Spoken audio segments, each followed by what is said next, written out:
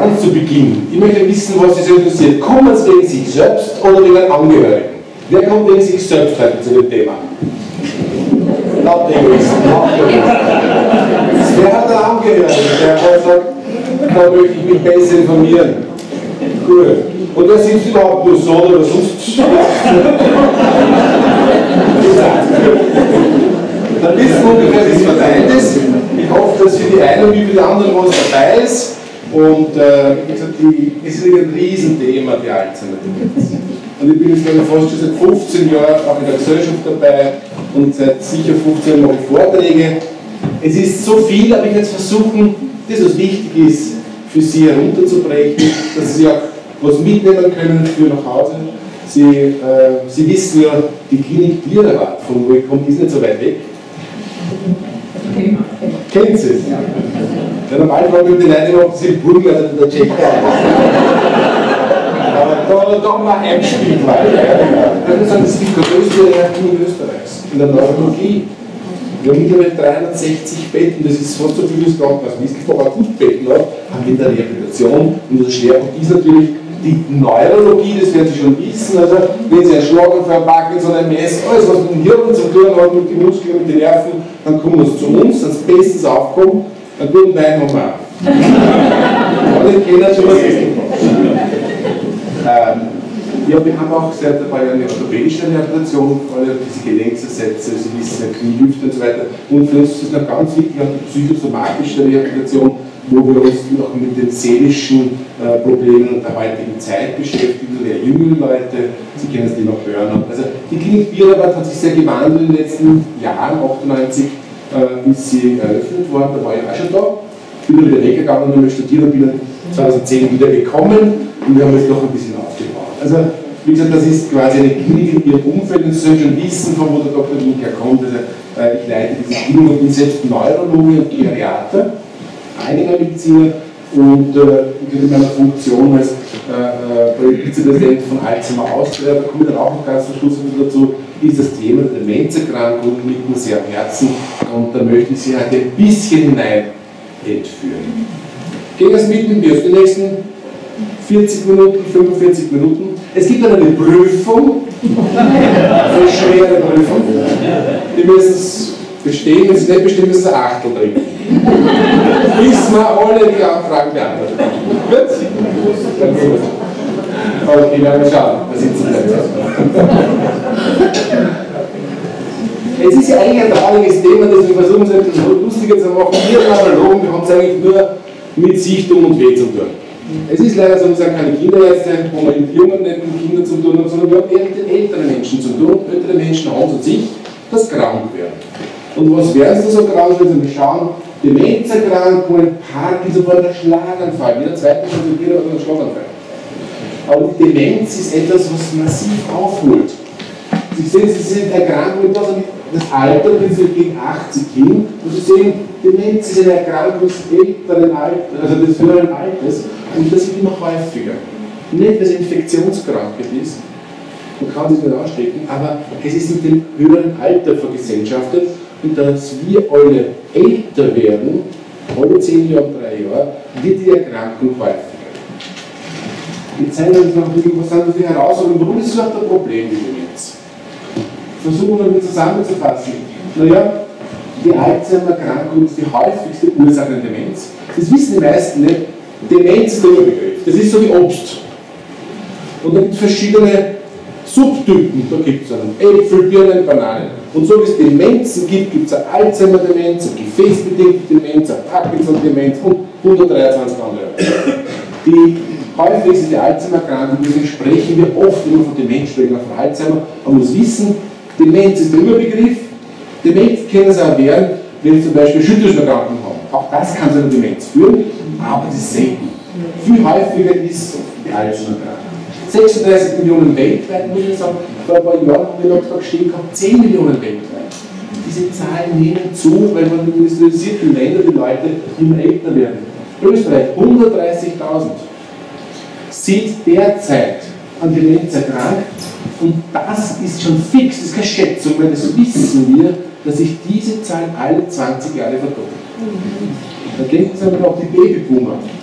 60er Generation. Ich gehe 20 Jahre Pension. Mit einer Masse von anderen auch noch.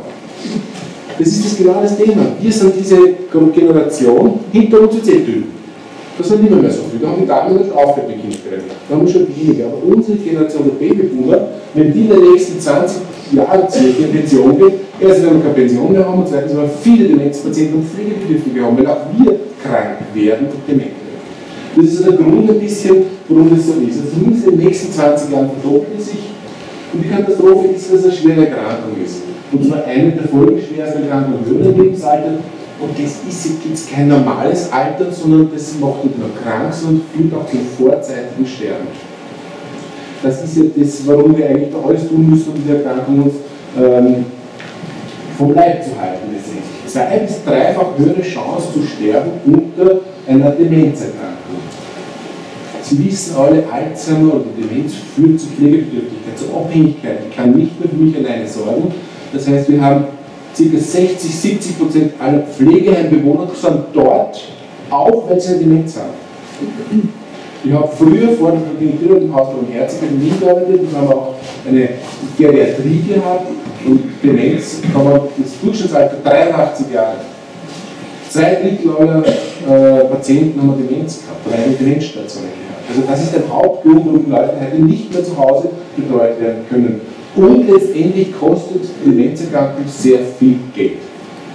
Und zwar jetzt nicht die Medikamente, das ist nicht das Teil, das ist ungefähr 1-2%, aber die Pflege, die Personalressource ist das teure. Und das macht schon einen Unterschied, ob ich heute zu Hause lebe, dann kostet ich im Durchschnitt 13.000 Euro im Jahr, oder in einem Pflegeheim, dann kostet ich 25.000 Euro im Staat im Jahr.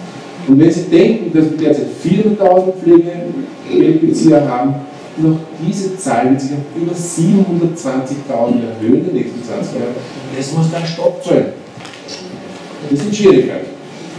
Das heißt, wir haben hier auch eine, eine wirtschaftliche Dimension des Gesundheitsproblems und äh, das muss die jüngere Generation erwirtschaften.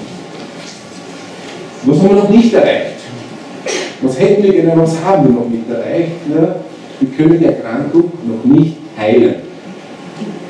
Jetzt werden Sie sagen, na gut, eine Zuckerkrankheit kann ich auch heilen, ich kann sie behandeln, das stimmt, ja, wir hätten es natürlich gerne äh, geheilt, wie eine Infektionskrankheit, wie Typhus, das man mit einer Impfung ausrotten kann, oder äh, was ich, Polio, zum Beispiel ausrotten können. Ne? Aber leider, da können wir noch nicht wirklich eine Heilung anbieten.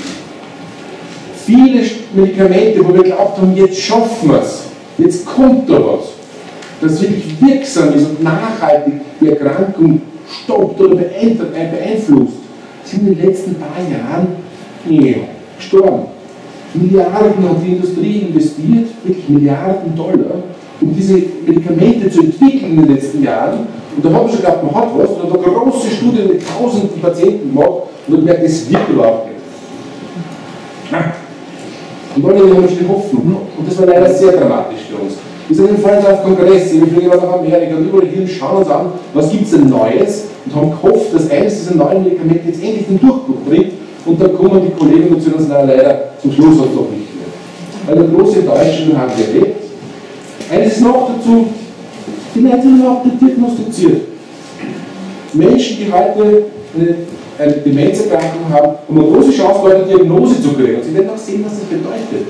Also ich möchte es wissen, wenn ich eine Herzerkrankung habe, die behandelt werden sollte, dass es auch möglich ist. Ne? Bei der Demenz, das ist ja wurscht, das ist eine Altersvergesslichkeit. Ich möchte Sie schon warnen, das ist keine normale Altersvergesslichkeit. Jeder, der Demenzerkrankten kennt, weiß, was das für eine Erkrankung ist und dass er frühzeitig eine Diagnose stellen muss. Und nicht warten muss, bis recht steht. Nur 20 bis 50 Prozent erhalten eine Diagnose.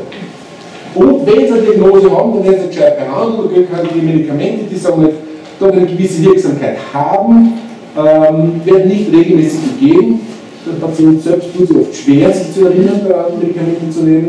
Es ist schon eine, eine, eine traurige Situation, Sie sehen, nur Fünftel nimmt regelmäßig Medikamente ein. Also jedes Durchblutungsmedikament, jedes Ginkgo nehmen wir regelmäßig.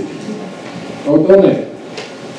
Ja, und was jetzt noch ganz wichtig ist, es ist schon wichtig, wenn diese ganzen Szenarien, dass sich auch Österreich entschließt, als Nation dieses, dieses Thema wahrzunehmen. und da was zu tun, wie die Ressourcen zu bündeln, Geld zur Verfügung zu stellen und zu sagen, da müssen wir was tun. Das ist so viel Pflegeaufwand, da ist so viel Leid dahinter. Und einen nationalen Demenzplan.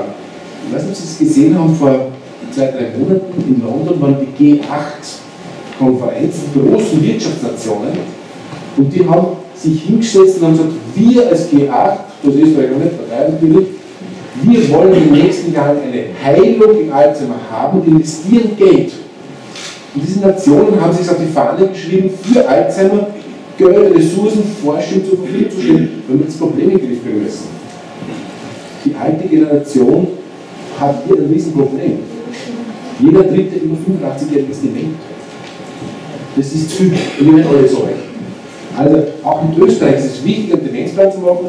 Und ich muss sagen, es gibt jetzt eine Einladung vom Bundesministerium für Soziales, vom Minister Hunsdorfer, hier einen Anfang zu machen.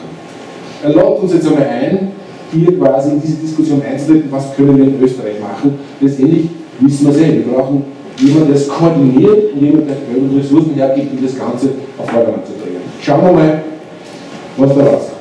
Ich zeige jetzt eine, eine Statistik. Schauen Sie mal, das ist die Jahreszahl 1980 bis 2050 und das sind die Österreicher, 100% ist Alter, blau bis 60 und die roten sind über 60.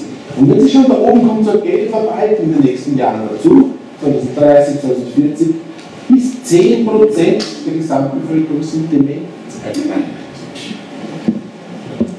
Das ist aber so, das ist auch keine Schätzung mehr, das ist schon, wissen wir, dass es eintreten wird. Weil die Leute sind schon geboren. Die sind schon geboren. Das heißt, da ist ein Problem, da müssen wir was tun, denn es kann nicht sein, dass wir mehr oder weniger jeden 10- oder 60-Jährigen hier mit einer Demenz haben. Das heißt, es wird das Gesundheitssystem belasten, es ist viel menschliches Leid dahinter. Gut, das sind Zahlen, die sind schon veraltet. Man hat 2009 noch geschätzt, dass 2010 110.000 Demenzkranke gegeben wird, sind schon 130.000. Und Sie sehen es noch die Zahl 269.000 und wir 2050, wahrscheinlich ist man schon auf 300.000. Weil die Lebenserwartung so steigt und wir auch Demenz früher diagnostizieren können. Also, wenn man das zusammenfasst, diese Zahlen sind grauslich. Aber das ist ein Aufwecken, weil wir müssen uns damit beschäftigen. Wir können jetzt die Augen zumachen und sagen, ah, das trifft jeder die ältere Generation, ist eh wurscht. Nein. Wir werden älter und wir verbringen ein Drittel unseres Lebens im Alter. Wir werden immer älter, wir sterben nicht mit, mit, mit 50 Jahren, so wie im Jahr 1900.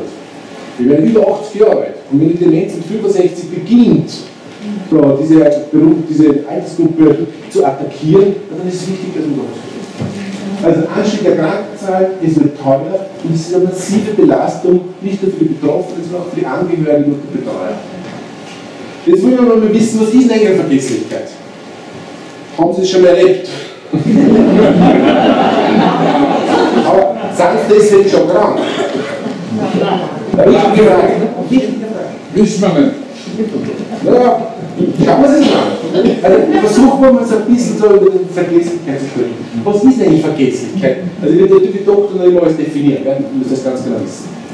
Das heißt, ich subjektiv habe eine Einschränkung dabei, irgendwelche Ereignisse oder Fakten, Zahlen, Jahreszahlen, Wissen aus meinem Gedächtnis abzurufen. Wenn ich das nicht kann, ist es Vergesslichkeit. Aber auch wenn ich Schwierigkeiten habe, was Neues einzuspeichern, das ist auch Vergesslichkeit. Und die Ursachen gibt es ganz viele. Ich zeige jetzt eine Folie, wie viele Ursachen? Und das ist noch eine Rolle. Es gibt Ursachen, die mit dem Hirn zu tun haben, mit der Psyche, mit psychiatrische Ursachen, internistische Ursachen. Schauen Sie zum Beispiel, irgendwas aussagen. Zum Beispiel ähm, eine Medikamentennebenwirkung kann das Einspeichern im Gehirn erschweren. Es gibt Medikamente, da werden wir vergesslich. Blasenmedikamente, Blutdruckmedikamente, äh, Wasser, also äh, Diuretika, also Entwässerungsmedikamente machen uns vergessen.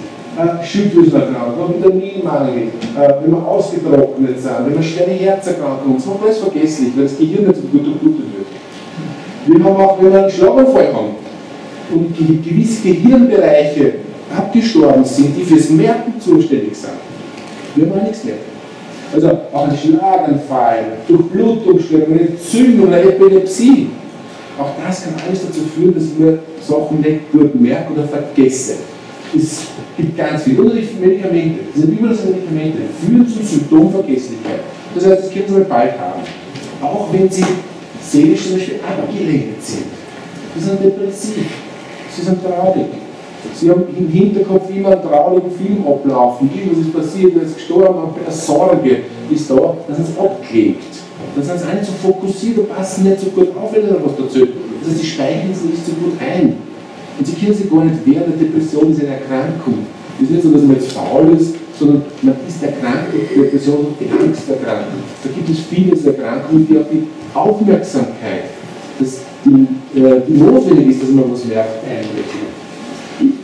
Auf der anderen Seite sehen Sie aber unten, es gibt aber auch Erkrankungen des Gehirns, die Demenzen, die als Symptom, das Hauptsymptom auch die Vergesslichkeit haben. Und unsere Aufgabe als Doktor ist jetzt als Neurologen und Psychiater, die sich damit beschäftigen, zu schauen, ist die Vergesslichkeit, dieses Symptom. Das ist was nur ein Symptom. Ursache internistisch, psychiatrisch, neurologisch, gibt es einen Grund dafür, die behandeln kann und ist die Ursache weg und die Vergesslichkeit ist weg. Behandle die Depression, das sind die Artikel, merken Sie nicht alles. Behandle die Schilddrüsenerkrankung, wie der Tyrex zum Beispiel, klassisches Medikament, die Schilddrüse wieder in Ordnung, tun Sie dann leichter bemerken. Oder ist die Vergesslichkeit das Symptom einer Alzheimer-Erkrankung, einer Demenz. Und dann muss ich ganz andere gehen, das ist eine Erkrankung des Gehirns. Ganz spezifische Erkrankung des Gehirns. Und dann sagen, es gibt auch bei diesen Demenzen, ich gesagt, es gibt viele, das ist quasi das Obst, und da gibt es verschiedene Untertypen. Alzheimer, Parkinson, durchblutungsbedingt, äh, auch zum Beispiel andere Erkrankungen. Es gibt viele Formen, das müssen wir unterscheiden, die, die Behandlung ist immer anders. Keine Demenz ist gleich. Und das ist schon ein Spezial, Spezialwissen und äh, deswegen ist es wichtig, das Symptom Vergesslichkeit alle ernst zu nehmen. Aber es nur Depression und Krankheiten. Und dann behandeln wir die Depression, dann geht es auch besser. Also kann auch Zeichen einer Herzschwäche sein, kann aber auch Zeichen einer Alzheimer-Krankheit sein. Insofern Vergesslichkeit, wenn sie immer wieder auftritt, schlechter wird. Wieder vor die Sachen nehmen wir mit allein, dann würde ich Ihnen empfehlen, einmal mehr zum Doktor gehen, zum Abklären.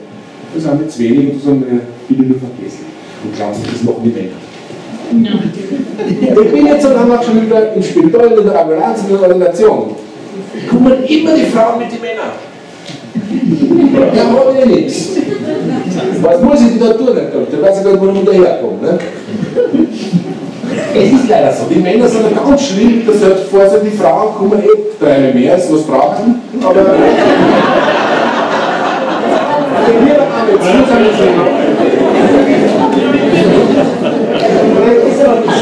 Und glauben Sie, es gibt typische Zeichen. Die Männer, die nichts mehr merken, die haben sich letzten Jahre immer auf die Frau verlassen. Wenn du den Mann was fragst, na, wie geht's denn? Schau das erst zur Frau. Das heißt, das, das Gene-Turning sein. Das es in der Literatur. Schau dir das zur Frau. Welchen Tag haben wir? Also so. Beobachten Sie das. Das ist schon Spätzeichen. Das ist nicht früher, das ist schon Spätzeichen. Schauen Sie mal, was man früher geglaubt hat, viele Gründe die Demenz sind. 1883 hat man geglaubt, es gibt physische Gründe, wie Fuhr, Schutz auf Kopf, Alter, Hämorrhoiden, Syphilis, Sexualität, Weihnachtsblues, moralische Gründe für Demenz, unglückliche Liebe, Ängste, Krisen, häufiger Kummer. Das ist falsch ist das nicht. Also, man hat sich besser definieren können. Heute wissen wir es genauer, aber es wird noch, wir wissen auch heute, dass Alter natürlich Grund ist, weil sie im Alter häufiger Demenz kriegen. Sie können sich durch exzessives Essen ihre ganzen Gefäße kaputt machen, das dick werden, Hypertonie, mobile, Blutfettigkeit, und zu weit trinken natürlich. Unglückliche Liebe und Ängste, es ist Depression wahrscheinlich dahinter. Diese politischen Krisen. Heute immer Burnout, wenn die Umwelt instabil ist. Äh, aber es dürfte auch hier sogar äh, Hinweise geben, dass wenn unsere Umwelt instabil wird, äh, dass auch die Psyche sich also auswirkt. Und wir wissen auch, dass Depressionen auch wieder den Demenz begünstigsten in höherem Alter. Also es ist nicht gut fürs Gehirn eine Depression. Aber heute wissen wir es wirklich genauer, das war 1838, heute wissen wir es genau. Warum wissen wir es genau? Das sollten Sie wissen. Erste Frage im Imagestudien, warum heißt die Alzheimer-Krankheit Alzheimer-Krankheit? Na, da hat Irrenarzt gegeben in Tübingen, der Dr. Almes Alzheimer. So hat ausgeschaut, der Herr mit einem Schnauzbart. Und das war seine erste Patientin, mit der das Erkrankungsbild beschrieben hat, der Gustav Täter, die mit 55 Jahren an geistiger Verwirrung gestorben ist. Er hat die Dame gekannt ein paar Jahre, hat den Verlauf beobachtet, hat ihr Gehirn untersucht und hat im Gehirn verschiedene Zeichnungen gemacht von den Nervenzellen und ist draufgekommen, hoppala, da ist was im Gehirn, was eigentlich nicht hinkehrt. So Eiweißablagerungen. Amyloid heißt Eiweißablagerungen. Das sind giftige Eiweißablagerungen, die die Nervenzellen zerstören und dazu beitragen, wenn die Nervenzellen im Gehirn, wo wir zwar Milliarden haben, aber wenn es über Jahre geht und die absterben, Tausende am Tag, irgendwann kann das Hirn das nicht mehr kompensieren und sie fangen an vergesslich zu werden. Und nach ihm, also er hat nicht selbst nach sich benannt, sondern äh, ein, ein, ein, Psychiater nach ihm, der Kräfterin, hat dann später die Erkrankung nach dem alles Alzheimer beschrieben. Das müssen Sie sich vorstellen, das 1906 präsentiert am Kongress. Im typischen Kongress der deutschen Hirnärzte er eine seltene Erkrankung der Hirnrinde vorgestellt. Die haben gesagt, hm, interessant, selten, interessiert uns nicht, das ist vergessen worden. Erst in den 50er, 60er Jahre ist das Ganze wieder aufs Tapet gekommen. Was glauben Sie, warum das keinen interessiert hat damals? Eine seltene Erkrankung. Da kann man 36 Millionen weltweit. Die Leute sind gestorben. Die Leute sind damals 50 Jahre geworden. Da hat keiner die in einem relevanten Ausmaß dieses Alter erreicht, um diese Abladung zu bekommen. Ich zeige uns ein Gehirn von einer Alzheimer Erkrankten, das ist ein Schnitt der Hälfte durch. Normalerweise ist ein Gehirn viel besser, wie Sie sagen, viel voluminöser. Da gibt es nicht solche Furchen da drinnen, das ist alles ein praller und saftiger. Die kennen das eh vom Hirn, wenn sie essen. Das ist ja. Das ist jetzt aber schrumpelt. Das ist nichts, was man hier ist. Nein, Gegenteil, das ist eiskalt. Das ist aber okay. Aber das Problem ist, dass in gewissen Hirnbereichen, beim Schläfenlappen, das ist da ungefähr, das Gehirn, wo das sind so gedächtnisrelevante Areale. Da drinnen beginnt der Alzheimer. Jetzt sagst du mir da. Wenn man so durchschneidet, wie Salami, also nicht in der Mitte, sondern so wie Salami, dann haben so die Flüssigkeit im Gehirn, da haben sie diesen Schläfenlappen, der da, der da war, so durchschnitten. Gell? Und da drinnen, da drinnen beginnt der Alzheimer. Man nennt das den medialen Temporallappen. Da drinnen, wenn man das groß fotografiert, sieht man so eine Seepferdchenstruktur, so wird beschrieben, den Hippocampus. Das Hippocampus ist das Seepferdchen. Und da drinnen finden wir die ersten Veränderungen bei Alzheimer. Das können wir heute durch die Bildgebung feststellen. Und da drinnen ist das Areal, das wichtig ist, wenn ich was einspeichern will. Wenn ich jetzt wissen will, dass ich heute in Mistelbach war, am 13. Mai 2014, wenn man das merken muss, dann passiert das hier drinnen. Und wenn hier ein Schaden ist und dieses Gehirnareal abstirbt, kann ich mir das nicht gut merken, dann weiß ich gar nicht, wo ich war. Da glaube ich, immer wieder. Und so schaut es dann aus. Sie sehen diese Ablagerungen, das hat schon alles Alzheimer gesehen, diese Eiweißablagerungen, diese giftigen, das schaut ja gar nicht so dramatisch aus, aber das zerstört uns die ganzen Nervenzellen. Und was macht das jetzt mit den Menschen, wenn diese Veränderungen im Gehirn passieren? Diese fortschreitende Alzheimer-Krankheit, Eiweißablagerungen, mit diesen Gehirnarealen. Schauen Sie, am Anfang war gar nicht viel. Da weiß man oft gar nicht, das ist eine normale Vergesslichkeit, bin ich schon öfter auch. Da kann ich nur sagen, Alter, man wird jetzt nicht vergesslich, man wird mal langsamer. Und man kann sich nicht so viel umstellen so schnell. Da braucht ein bisschen mehr Zeit. Äh, man kann sich natürlich jetzt nicht so viele Worte merken, aber das ist normal. Da gibt es so Normwerte. Sie können sich jetzt nicht 32 Worte merken, das können Sie vielleicht mit 30 merken oder mit 20. Sie können sich auch 22 merken mit 75 und das ist halt normal. Das heißt, die Vergesslichkeit ist aber hier der Alzheimer noch mehr. Wenn Sie plötzlich nur mehr 8 merken können, so 22, was normal wäre für die Alter, dann ist das krankhaft. Und Sie können keine neuen Gedächtnisinhalte einspeichern. Das ist das Erste, was da passiert. Das ist zum Beispiel diese, diese Fakten. Wenn ich sage, der 13. Mai 2014, wir sind im Stadtsaal, glaube ich, ist das in Mistelbach, ich bin der Dr. Winkler und ich sage noch zwei, drei Sachen und Sie sollen sich das einspeichern. Dann brauchen Sie diesen Hippocampus. Und wenn der funktioniert, können Sie es abrufen. Ist der noch kaputt oder gestört durch die Alzheimer-Erkrankung, können Sie es nicht einspeichern, die Festplatte nimmt das nicht auf und Sie können es nicht abrufen.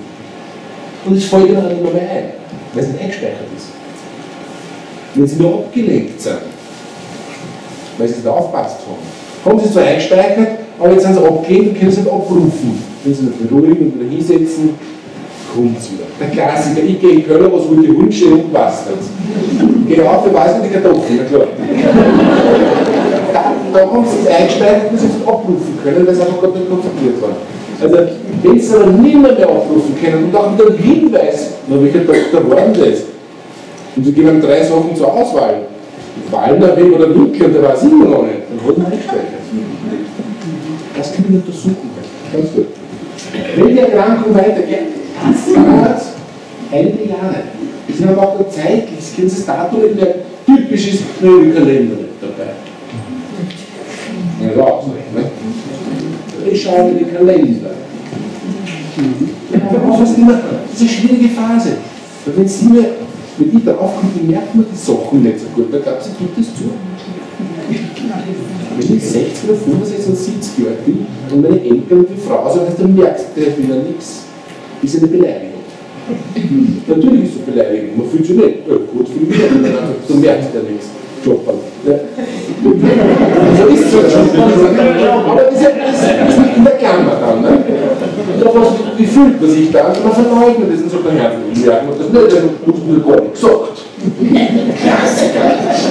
Streitereien, Aggressionen, er wird immer eher, wird immer konfrontiert, er merkt es nicht, er sagt, du bist schuld, böse Frau, und es geht die ganze Zeit hin und her. Es sind Aggressionen. Und das Versagen merkt. Typisch. Das ist so typisch, wissen wir, ich weiß nicht, wie viele tausend Bergen schon gesehen haben. Das ist so, nein, da gibt es nicht zu. Wir die Männer stärken? Unterstützen. Ja, es ist also am Anfang ist es oft sehr schwierig. Da brauchen Sie wirklich einen Spezialisten. Nur da sollten Sie kommen. Nicht, wenn Sie nur mehr Ihren Namen sagen können. Auch das habe ich nicht erzählt, den gehört, mir der Mann gekommen ist und der Doktor, ich glaube, jetzt muss ich mal schon kommen. Ich glaube, der hat was. Da habe ich gesagt, wie heißen Sie? Er konnte kein Wort mehr sprechen. Da ist ihm dann aufgefallen, dass es uns, bitte, das ist zu spät. Der beste Arzt kann man nichts mehr machen. Also wirklich, ich tue es ein bisschen überspitzen, aber frühzeitig kommen. Wenn Sie das Gefühl es sind Vergesslichkeiten da, ah, das Ding, der ist jetzt noch gestresst oder der hat jetzt Sorgen oder lassen Sie es abklären. Das ja haben ein Gesundheitssystem, das ist eh gratis. Nicht umsonst, aber gratis. Wenn es Erkrankung weitergeht, dann geht es weiter, dann schwindet noch diese höheren geistigen Fähigkeiten, Rechte, Problemlösungsfähigkeiten und dann beginnt es auch schon so Abläufe. Wie geht denn das? Der Rasenmäher. Das, was er immer kennen hat, das ist nicht schwieriger. Dürfte nicht auch, kann Sachen nicht mehr reparieren, mit Kaffee machen, das ist nicht schwierig, machst du. Und dann nehmen die Frauen alles ab. Das ist überhaupt der Tod. Wenn sie nicht alles abnehmen, ist das eine gelernte Hilflosigkeit. Da verliert das noch viel schneller. Auch umgekehrt.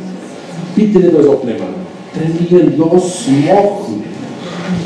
Die steigende Vergesslichkeit, die Geburtstage werden vergessen, die Namen von den Enkeln, was ich zum Beispiel heute immer noch nicht, das ist eine Familie, die sind Männer erkrankt, das wird nicht so, aber Sprachstörungen, Sprachverständnis, es wird schwieriger, man versteht es nicht mehr und zieht sich auch zurück die gehen ja nicht mehr, gern zum Heiligen, weil sie einfach auch in der Gruppe nicht mehr die Gespräche so erfassen, nicht mehr so mitdiskutieren können, weil es Verständnisprobleme haben. Die Bedeutung der Worte verliert sich. Und ich kann nicht so schnell nachdenken und dann sagen wir uns um anderen wenn wir heimgehen. Äh, ist auch schlecht, weil diese Isolation, alles daheim und fortgeht, diese, ich will mich nicht konfrontieren, ist für die Familie eine Katastrophe, der geht mehr fort, der Betroffene sitzt daheim, macht nichts mehr. Ist nicht angenehm. Der Mensch verändert sich. Eine Wesensveränderung geht. Der ist früher immer gerne und der gar nicht kriegt jetzt wieder nicht mehr.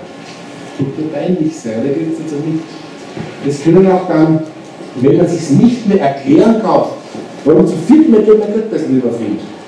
Das hat man ja gestimmt. Das muss nicht eine Stunde haben, ich habe es nicht verlegt. Ich kann mich ja nicht erinnern. Und dann bekommt er diese Wahnvorstellungen, nicht weil er jetzt psychotisch ist, weil er es nicht erklären kann und dann überzeugt ist, ich wollte es nicht. Enkel oder wer immer hat das genommen oder Fremder. Im schweren Stadium, im letzten Stadium geht es, kennen Sie vielleicht auch, kommt auch zu einem Gedächtnis, das ist der Fall der Verlust der Biografie. Ich, ich verlerne das Wissen über mich, wer ich bin, meine Geschichte. Sie wissen am Anfang in den frühen Stadien, das Neugemerkt das ist nicht das alte was noch. Die Demenzpatienten können erzählen, was im Krieg war, was in den 50er Jahren, was in der Jugend war, da war das Gehirn noch gesund. Das ist nur lang gesteigert. Aber auch in der letzten Phase, da fehlt auch das Langzeitgedächtnis. Die Orientierung, die Hygiene ist noch schlechter und das Wasser zum Beispiel ist wieder ein Problem. Die sind jetzt keine Schweine, sondern sie nicht waschen und sie haben Angst vor Wasser. Wasser ist ja was Gefährliches für uns. Wir haben gelernt, mit Wasser umzugehen. Wir können schwimmen, der Boden, wenn man nicht ganz auftritt. Das Verlieren dieses Wissen, das Wasser, Duschen, Baden, wichtig, ist gefährlich, intuitiv. Es kommt noch dazu die Haaren-Stuhlkontinenz und auch letztendlich verlerne ich die Bewegung. Ich vergesse zu schlucken, ich vergesse mich zu bewegen. Wie stehe ich auf vor einem Sessel? Das ist ein Programm, ein motorisches Programm, wenn ich heute aufstehe von einem Sessel, muss ich wissen, aha, dann muss ich zuerst meinen Oberkörper vorbeugen, die Füße den Druck, die Füße am Boden, die Sohlen müssen parallel stehen und dann muss ich mich hochheben. Das ist ein Programm, das ist eingespeichert. Da denken wir gar nicht drüber nach.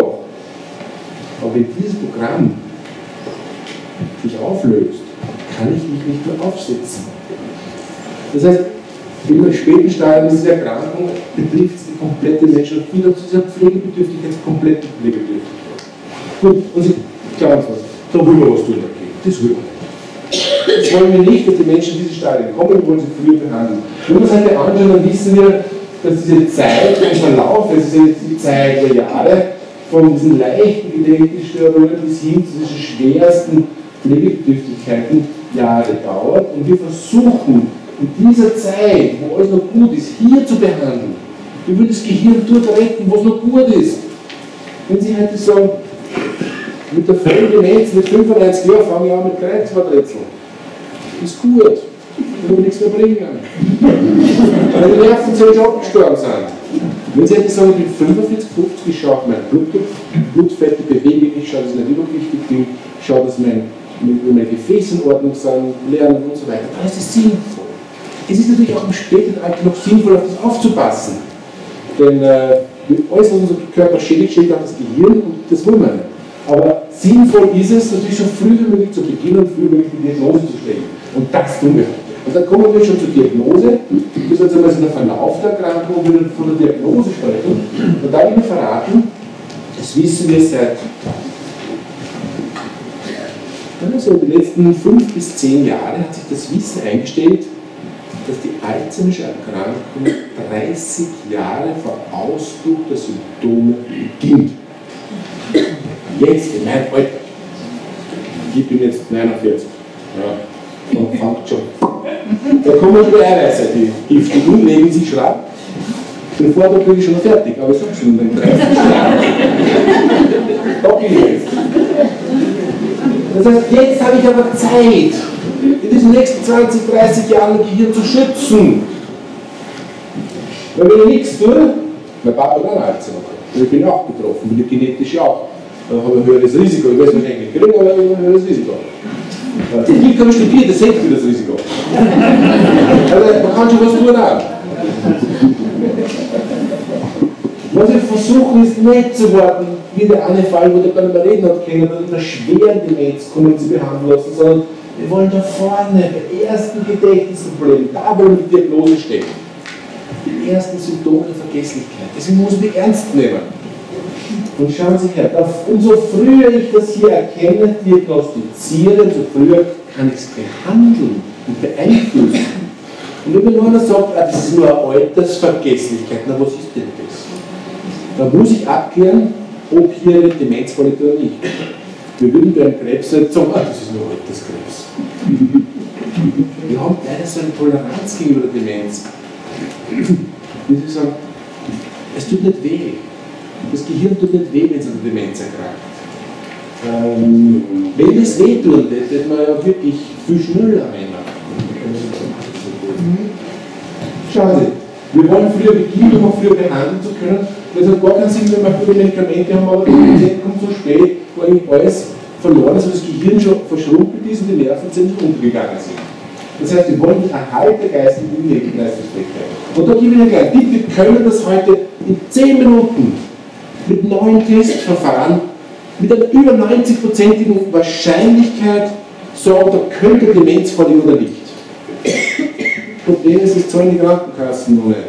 Das kommt aber schon irgendwann noch, weil das wissen sie dann zahlen, weil wir müssen ihn früher erkennen. Mit so einem einfachen Test, der dauert ungefähr 10 Minuten, kann ich mit über 90%iger Sicherheit sagen, oh, da liegt wahrscheinlich eine Demenzerkrankung, auch eine Alzheimer-Erkrankung vor, die muss ich genauer untersuchen. Da brauche ich noch andere Untersuchungen.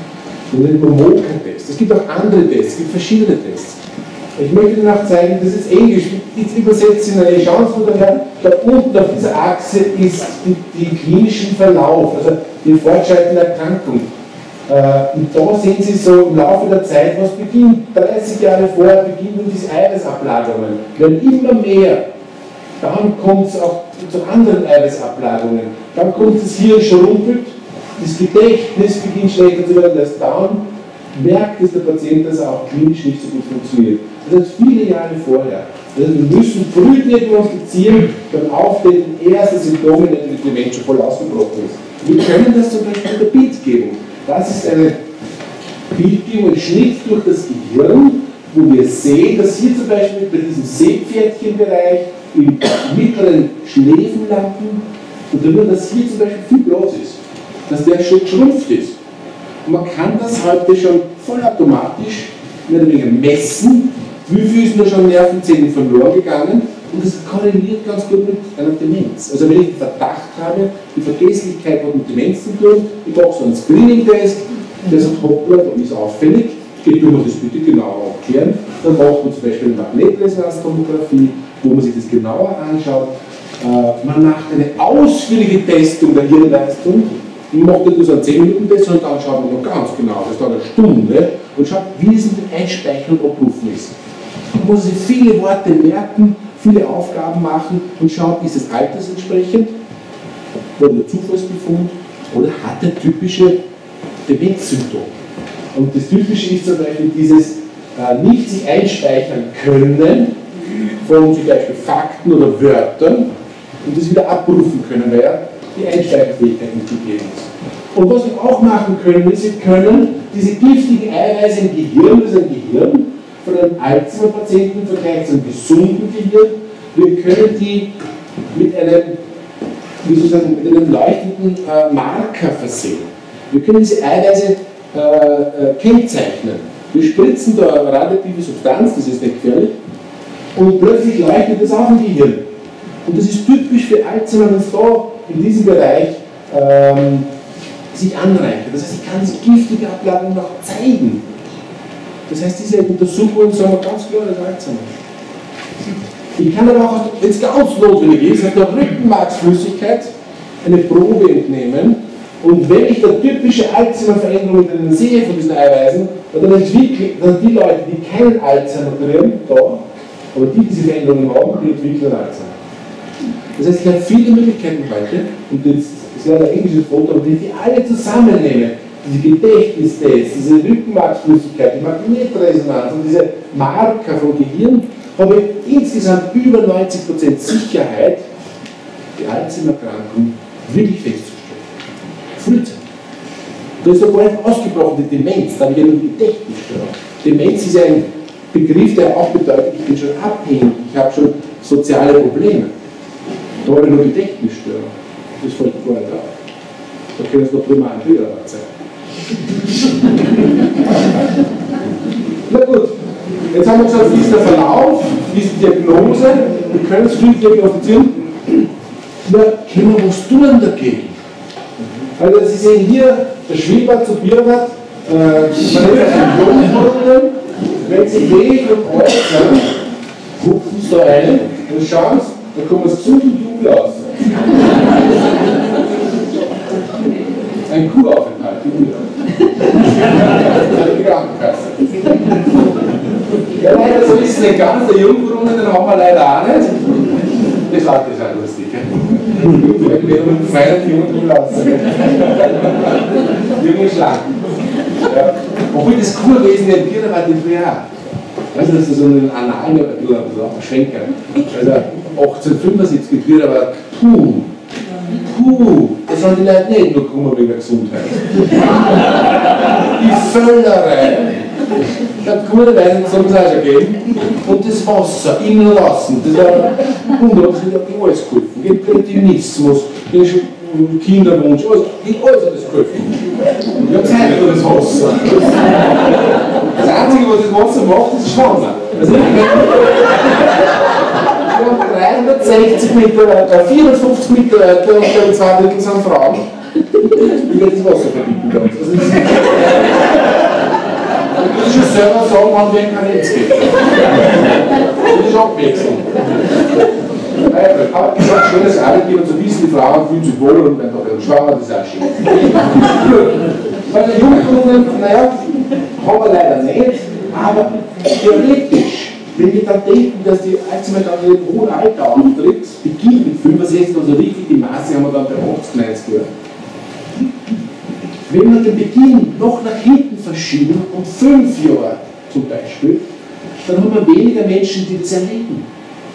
Das heißt, nach hinten ist es marschieren. Wenn wir es nur noch fünf Jahre nach hinten verschieben, haben wir die Hälfte von Betroffenen. Also, Medikamenten müssen jetzt gar nicht heilen. Das müssen nur die Symptome nach hinten verschieben fünf Jahre. Na super, da gibt jetzt nicht, sagen wir, mit, mit 75, 80 oder bis 90 Zeit, bis es wirklich ganz sind. Das ist doch schön. Sie sind viel länger daheim. Den Henker. Lebensqualität. Sie müssen nicht nach Polsdorf. Das ist wirklich. Nein, ich möchte Polsdorf ist echt gut. Das ist vom Haus der Merziger, die bemühen sich eh. Aber das ist auch nicht daheim. Ne? Gut. Und jetzt geht die Frage, ui, ganz kompliziertes Bild wieder von, von Doktor. Ähm, was können wir tun? Prävention heißt, ich muss die 30 vorher schon was tun. Wenn ich nichts tue, geht es so, boom. Wenn ich ein, eine Heilung habe, zum Beispiel wir hoffen, dass Impfung, die jetzt bald in den nächsten drei, vier Jahren kommt, die Alzheimer-Impfung, dass die das, den Verlauf deutlich beeinflussen kann, stoppen wir das. Aber was wir auch haben, ist, wir Medikamente, die können die Symptome verbessern, sie können zwar den Verlauf nicht verändern, sie leben nicht länger, aber sie leben besser. Das ist genauso wie Zucker. Sie kennen eine Zuckerkrankheit nicht ein, außer sie machen Bauchspeicheldtransplantation. Aber der normale Zuckerkrankheit ist eine ganz Symptome behandeln, Zuckerspiegel. Also den Blutdruck, die Blutdruckhöhe behandeln, aber nicht die Ursache, dass die Gefäße haben Blutdruck oder das Herz stört aber es geht ihnen besser und sie leben besser. Und so ähnlich würden wir uns das wünschen Medikamenten.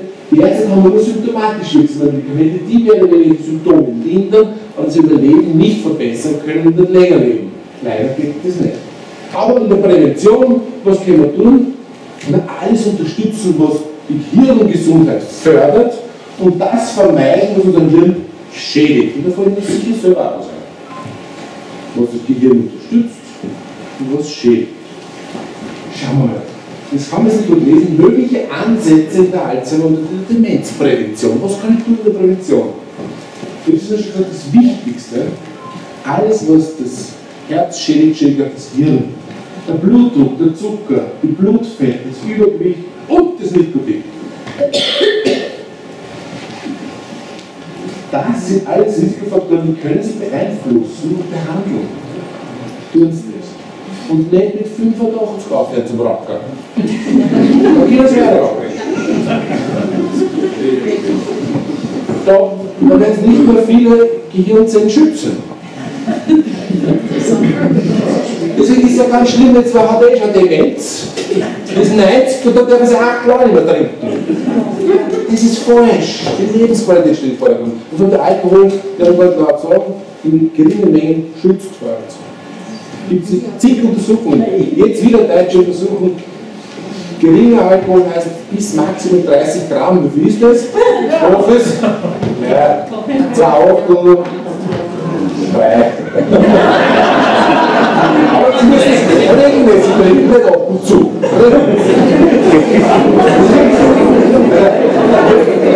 Warum man vielleicht ein Zöllverein in der Gesellschaft ist, weil wir in Österreich sagen, zwei Achteln sind gut. Wie gut muss Flasche erst sein? also wir machen nicht große Werbung dafür, aber es ist bewiesen, dass ein geringer oder mäßiger Alkoholkonsum das gar nicht schützenden Effekt hat, wobei es wahrscheinlich heute Alkohol ist, sondern wenn Sie ein Leben haben, wo Sie jeden Tag wirklich zwei Achteln trinken, haben Sie keinen Stress. Da geht es sogar gut und wahrscheinlich ist auch ein Zeichen, dass Sie ein gutes soziales Leben haben. Entschuldigung, ist der Rotwein besser? Äh, man geht davon aus, dass der Rotwein besser ist, weil wer Inhaltsstoffe haben Flavonoide, die wahrscheinlich ein bisschen besser gefäßprotektiv sind und antioxidativ wirken, wissen wir das nicht. Man vermutet. Gut. Also alles, was schlecht ist, Zucker, Herzgefäße, Blutdruck, Rhythmusstörungen, Herzflimmern, Herzschwäche, bitte alles behandeln. Äh, Übergewicht ist eh klar, Cholesterin, Rauchen, all das erhöht natürlich Ihr Alzheimer-Risiko. Das können Sie behandeln, einstellen lassen. Das ist eine gute Nachricht, tun uns was. Nicht so, Schicksal. Nein, nicht Schicksal. Selber tun was. Gehen Sie ein bisschen joggen, gehen Sie ein bisschen walken, machen Sie was. Ja, was kennen. Das zweite ist der zweite wichtige Bereich, was Sie tun können, und da sind wir vorhin bei den Medikamenten. Ihre Hirnreserve, eine Hirnleistung. Ich versuche es Ihnen so zu erklären. Wenn das kognitive Reserve, das heißt, Sie können auch Ihr Gehirn, den Muskel trainieren. Das müssen Sie das ganze Leben machen. Wir wissen heute, hohe Bildung ist mit weniger häufiger Demenzerkrankung vergesellschaftet. Also wer sein Leben lang geistig aktiv ist, sich bemüht, das Gehirn zu trainieren, Sprachen lernen, Ausbildung macht, aktiv bleibt, hat ein geringeres Risiko. Äh, Bildung, Lernen, geistige Aktivität, mentales Training. Da gibt es gute Untersuchungen dazu, dass es wirklich äh, quasi protektiv ist. Das heißt, Sie bekommen Ihre Demenz später, als Gehirn widerstandsfähiger ist. Sie haben mehr Nervenzellen gut verknüpft. Wenn Sie daheim vor dem Fernseher sitzen, im Holzglas schauen, dann ist das nicht. Das immer das Gleiche. Immer das Gleiche. Die gleiche Musik. Sie müssen was anderes tun. Aber Spanisch lernt man Französisch. Immer was anderes. Nicht immer das gleiche Kreuzverrätsel. Die Leute immer das Gleiche tun. Ich kann die Kreuzverrätsel, diese kurz kognitives Training. Wenn es immer das Gleiche ist, Sie kennen schon auswendig, ist das kein Reiz mehr fürs Hirn. Das macht das Stocko. Lebensstil. Ähm, lass uns einmal zeigen, es gibt diese Studie, die so durch die Welt gegangen ist, da hat man bei Nonnen, die über 100 Jahre alt waren, sind, geschaut, was der Gehirn an Eiweißen ist, also diese giftigen Eiweißen. Und da hat man gesehen, vom Gehirn her, na, die muss ja schwer dement sein, und so viele giftige Eiweiße in diesen Arealen, und die wollen aber nicht dement. Weil die haben ihr ganzes Leben diese geistige Aktivität trunken, so nicht viel, äh, geistige Aktivität gehabt und haben quasi einen Airbag aufgebaut. Diese kognitive Reserve, dass sie eigentlich für das, wie betroffen das Gehirn schon war, dass sie immer kompensieren haben können. Sie waren nicht dement. Aber wenn man es hier angeschaut hat, haben sie gedacht, die müssen dement sein. Also sie können da was tun dagegen. Und wichtig ist ein Lifestyle, da kommt da mit der Nikotin, der übermäßige Alkohol, die körperliche Aktivität ist wichtig, Bewegung ist wichtig und die Ernährung. Und da ist ganz viel Humbug. Also, wenn Sie halt in Apotheken reingehen und schauen, was da alles gibt an Hirnnahrung. Es wirkt alles nicht. Nichts wirkt. Kein Knoblauch, kein Omega-3 alleinig, nichts. Das haben wir untersucht, das haben wir uns angeschaut. Ginkgo wirkt nicht. Game-Studie 2000. Die Game-Studie hat uns 2009 gezeigt, dass 5000 Patienten, die über sechs Jahre behandelt wurden, Ginkgo kannten 42 Milligramm, also sind 83 so Kapseln, das Auftreten der Demenz nicht verhindern und auch nicht hinauszögern. Es ist aber so, dass bei der gefäßbedingten Demenz, bei der vaskulären Demenz, ein bisschen was bringen kann, bei Alzheimer leider nicht. Ähm, das Problem ist, das, aber ich muss, muss draußen mit der Ernährung. Ich muss drauf kommen, diese mediterrane Kost ist günstig. Hat aber lang gedauert. Man glaubt nur die Omega-3-Fettsäuren große Studien gemacht. Man hat gesehen, wenn ich heute 100.000 Leute hernehme, die viel Fisch essen, dann kriegen die weniger Demenz. Also. Und wenn man mal hergeht und jetzt Leuten drei Jahre lang Omega-3, also Fischöl, gibt, gibt es genauso. Also nur das Fischöl kann es nicht sein. Und da hat es große Enttäuschungen gegeben. Ich glaube, das Fischöl da 1,8 Gramm zu mir nimmt, das ist nicht gut. Ähm, ein Lebertag. Ist nicht so gut. In Kapseln müssen sie reingehen, das ist gut. Das hilft nichts. Dann ist man darauf gekommen, vor zehn Jahren die ersten Forschungen in Boston am MIT und Massachusetts Institute of Technology begonnen, dass man dort, aha, nicht nur die eine Substanz, vielleicht brauchen die Hirnzellen eine Kombination. Und heute wissen wir, durch ganz aktuelle Studien, die gibt es seit zwei Jahren auf den Kongressen, das ist noch nicht allgemein wissen. Sie müssen eine Kombination nehmen aus Omega-3-Fettsäuren, Phospholipiden und DHA. Ähm, ähm, also Sie brauchen Membranbestandteile von den Hirnzellen. Es gibt Ernährungsstoffe, die braucht die Nervenzelle, ihre Nervenwand, Nervenzellwand zu bilden. Wenn Sie nur einen Baustein zuführen, wie zum Beispiel Omega-3-Fettsäuren, ist es wenig. Da kann es nicht gut verwenden. Sie müssen eine richtige Kombination von diesen Vorläuferstoffen geben, diesen Nahstoffen, in der Kombination mit nur zusätzlichen Kofaktoren und Bausteinen, ist relativ kompliziert. Dann kann die Nervenzelle diese Nahrstoffe besser verwenden und ihre Wand, die sie braucht, besser aufbauen und bleibt stabiler und wird von den herannahenden Eiweißen, diesen giftigen Eiweißen, nicht so leicht fest. Das haben wir jetzt in den letzten zwei Jahren gibt es eine große Studie zeigen können, die dann letztes Jahr in Amerika vorgestellt worden sind. Es gibt quasi diese spezifische Kombination, die gibt es nicht nur in England, sie kommt auch jetzt nach Österreich. Was macht es? Es kann über sechs Monate eine Verbesserung der Gedächtnisleistung bei ganz früher Alzheimer-Krankheit bewirken. Ist die Alzheimer-Krankheit noch schon fortgeschritten, wird es nicht mehr. Ähm, das ist eine Kombination vor allem aus diesen Fettsäuren und Antioxidantien und Kofaktoren, die hier in der Nervenzelle an dieser Synapse wirken. Ähm, das ist ein patentierter Stoff. Da kommen in Österreich die Krankenkassen überlegen, ob sie es bezahlen. Äh, derzeit im Zulassungsverfahren ist es zugenäht. Ob es wirklich kommt, ob sie es zahlen werden, wissen wir noch nicht genau. Die Alzheimer-Gesellschaft sind dafür, weil es ist ein kleiner Effekt. Es unterstützt die Nervenzellen, keine Heilung wirkt auch nur bei der frühen Alzheimer-Demenz. Werden wir schauen, ob wir es zugelassen können. So heißt es. Da haben wir von Österreich die Alzheimer-Experten uns zusammengesetzt und wir haben die ganze Studienliteratur sich angeschaut. Also es hat einen Effekt, aber es ist ein kleiner Effekt, aber er ist nachweisbar. Gut. Als letzter Faktor, was wir tun können in der Prävention, neben der Ernährung ist soziales Netzwerk aufbauen. Halten Sie Freundschaften, halten Sie Kontakte halten Sie sich sozial aktiv. Man weiß es, dass ein soziales, gutes Netzwerk, dieses angereicherte soziale Umfeld auch protektiv ist. Sie schützt vor Alzheimer.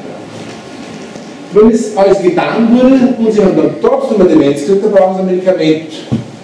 Und dann haben wir heute in Österreich zwar keine, die heilen, aber wir haben vier Medikamente, die die Symptome im Durchschnitt über eineinhalb, zwei Jahre lindern können und das allem zwei Substanzklassen, man nennt sie die Acetylcholinesterase-Hämmer und Memantin. Das sind zwei verschiedene Substanzklassen, es gibt mehrere Vertreter davon gibt und zeigen ähm, eine Übersicht. Äh, brauchen Sie noch nicht merken. Es gibt die Acetylcholinesterase-Hämmer, da gibt es das Donepezin, das Rivastigmin, da gibt es ein Pflaster, das Galatamin, das heißt, die heißen A-Rezept, äh, das ist das äh, Remilyn, und das ist das Exelon, dieses Pflaster, und das Melantin, da gibt es zwei, Saxuren und Vixer. Die gibt es alle einmal täglich, die sind nachweislich wirksam, alle ungefähr gleich wirksam. Nur dazu müssen Sie sich vorstellen, alle sind unterschiedliche Substanzen ein bisschen. Man muss für jeden das Richtige finden und muss aufpassen, dass es auch keine Nebenwirkungen gibt. Das sind Medikamente, die wirken, die machen Nebenwirkungen. Und das macht dann der Facharzt, der für Sie das richtige Medikament aussucht Sie müssen alle sechs Monate zu einer Kontrolluntersuchung gehen, aber Sie können damit rechnen, dass dieses Medikament Ihre Hirnleistung symptomatisch verbessert. Der Effekt hält bis zu zwei Jahre an. Das ist nur wichtig. wenn Sie über zwei Jahre hier einen Benefit haben. Wichtig ist auch noch, dass Sie diese Nebenwirkungen wissen die Medikamente haben auch Nebenwirkungen. Und man kann sie auch so schlucken oder sie aufpicken, das ist eine ganz diffizile Sache. Man kann auch wechseln, wenn das eine nicht so gut wirkt, kann man für anderes probieren, man kann sie auch kombinieren. Und wir können mit diesen Medikamenten auch nicht nur die Alzheimer-Demenz behandeln, sondern es gibt auch welche dabei, die auch bei der Parkinson-Demenz wirken oder äh, bei anderen Demenzformen, zum Beispiel gefäßbedingte Demenz, aber da ein bisschen schlechter wird, nicht so gut über. Sollen wir jetzt auf die Wundertherapie hoffen? Ich glaube, was ich Ihnen zeigen will, ist die Selbstverantwortung. Sie kennen viel tun und Sie brauchen jetzt nicht auf die Wunderpille hoffen, die alles löst, denn auch wenn wir heute eine wahrscheinlich äh, ganz tolle Therapie haben, es gibt ja nicht nur Alzheimer-Erkrankung. Sie wissen, es gibt viele andere Demenzformen. Was macht man dann mit denen? Das heißt, es wird das Thema Demenz und Alzheimer uns schon noch lange begleiten, auch wenn wir gute Therapien bekommen. Und ich möchte Ihnen ganz zum Schluss, weil ich auf einer Alzheimer-Sekretär Alzheimer-Angehörige austritt, auch in ganz kurz die Angehörigenperspektive ein bisschen näher bringen. Das ist das, was wir jetzt sehr engagieren auch. Dass Sie auch da diese sehen, was macht Alzheimer Austria? Wir müssen uns denken, die pflegenden Angehörigen sind eigentlich ziemlich betroffen, auch durch die Erkrankung. 80% der Kranken werden zu Hause gepflegt, auch ein Viertel der Schwerstdementen. Entweder von Kindern, Schwiegereltern, Ehepartnern, Verwandten, Freunden, Nachbarn und vor allem 80% sind Frauen. Das Pflege ist immer noch eine weibliche Leistung. Völlig selbstverständlich. Also ich glaube, meine Tochter nimmt mir das nicht. Der resigniert Also ich glaube nicht, dass die nicht so gut pflegen. Aber ich glaube, es ändert sich. Es ändert sich. Das ist nicht mehr, nicht mehr cool, zu Hause den Opa und die Oma zu pflegen. Das ist mein eigenes Leben. Ne? Muss ich anders noch. Kostet doch 25.000 Euro im Jahr. Wer zahlt das? Ist nicht schlimm. Die Belastung der Angehörigen ist eine psychische und emotionale. Stress. Und Sie müssen bedenken, Sie verlieren ja auch durch die Persönlichkeit und Verhaltensveränderung den Ehemann, den Ernährer, den Liebespartner, den Freund, den Mann. Sie verlieren da viel. Und das ist eine schwierige Phase, des Loslosens und Gehen lassen. Und auch die Aggression des Verstehens. Das will man ja nicht. Warum bist du krank jetzt? Es ist eine körperliche Belastung durch die Betreuungsarbeit. Versuchen Sie jemanden sauber zu halten, zu ernähren, Essen einzugeben, einen Transfer vom Bett, vielleicht einen Ruhestuhl. Und das ist schon anstrengend. Auch diese körperliche Belastung ist wichtig. Sie müssen dann zu den Doktoren rennen. Zum Winkler, das über Medikament verschreiben lassen. Finanzielle Belastung, das kostet was, ich brauche Medikamente, ich brauche Hilfsmittel, ich brauche Dienste, ich brauche vielleicht eine Betreuung. Ich brauche jemanden vielleicht aus der Slowakei, den ich mir sonst nicht leisten kann. Der kostet aber auch 1800 Euro. Das sind viele Themen. Äh, die Zeit, ich kann den nicht allein lassen.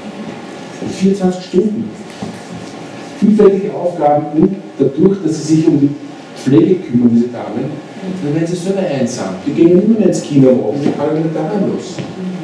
Das sind ganz massive Belastungen und wissen Sie, man das nennt, wo bleibt dann die Kummer? Eine schwere Erschöpfungsdepression.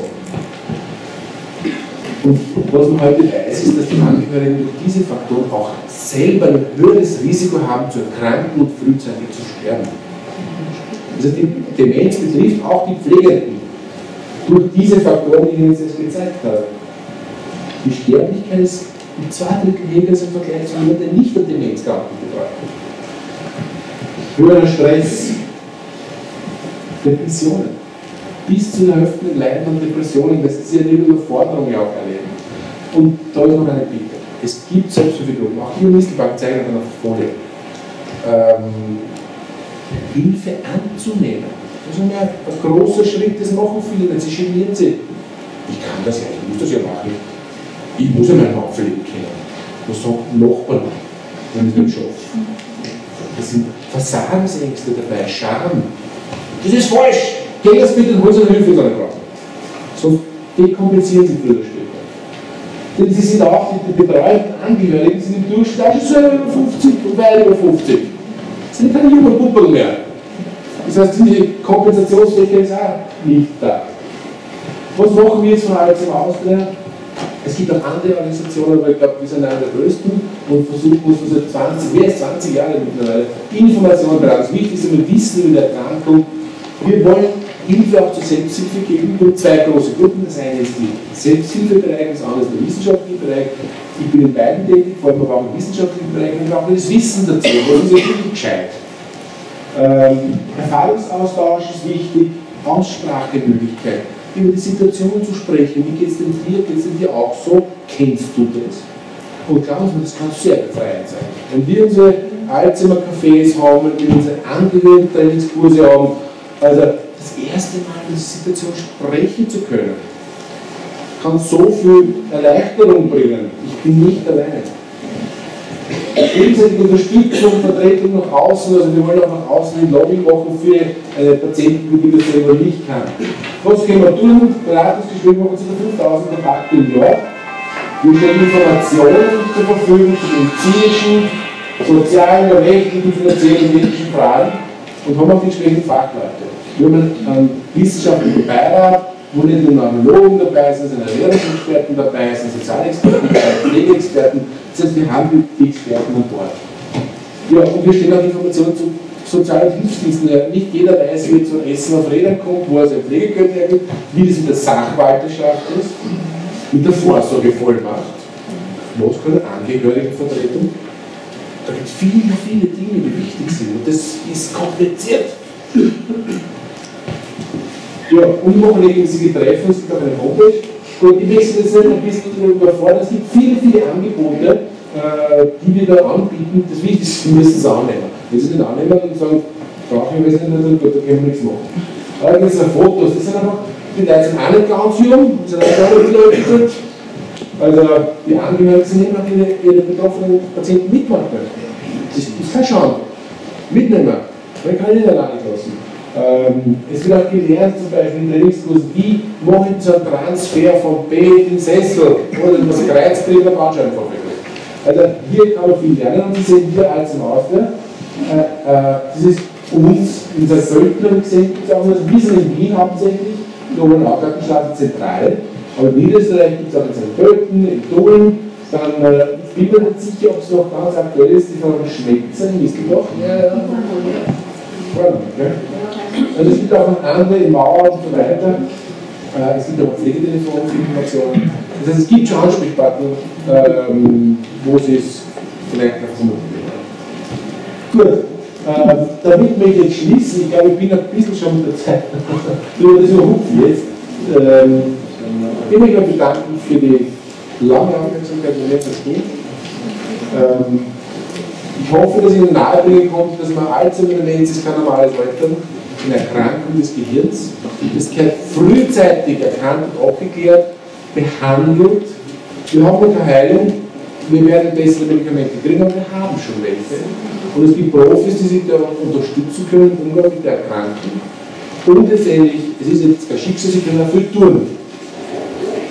Und äh, ich möchte Sie, darauf, äh, möchte Sie einfach bitten, diese Erkrankung auch ernst zu nehmen. Das ist keine normale Altersvergesslichkeit. Und Sie haben auch hier im Umkreis gute Ärzte, gute Doktoren, die, die Sie da begleiten können. Und letztendlich auch Alzheimer, so wie auch Alzheimer Selbsthilfe ist für Sie da. Herzlichen Dank für die Aufmerksamkeit. Keiner ist eingeschlafen. Danke sehr.